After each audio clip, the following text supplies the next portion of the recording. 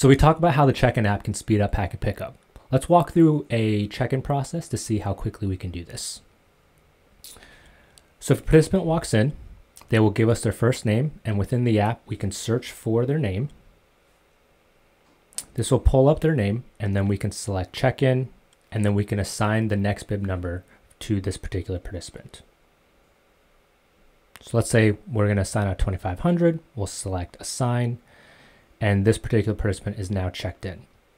So you can see within five to 10 seconds, we've already got a participant checked in.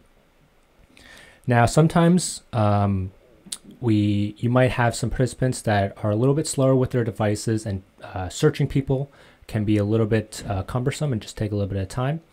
So what you can do in this case is if you tell your participants to bring their confirmation email with them to the check-in process, that confirmation email has a QR code which allows you to scan that QR code within the app to bring up their registration. And if you also have QR codes on your bib numbers, you can also use QR codes to quickly assign that bib number to those participants. So let's see that in action. So when a participant comes in and they have their confirmation email with their QR code, I can select this camera icon in the top right hand corner.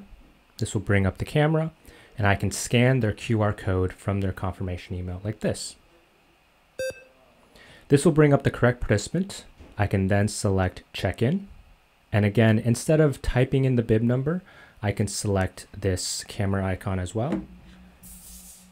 And then I can scan uh, the QR code that we've printed onto the bib. You can see now without even typing anything in, bib 3000 has been assigned to this participant and I can select save and continue. And now that participant's been checked in and I didn't have to worry about uh, fumbling, fumbling around and potentially typing in something incorrectly.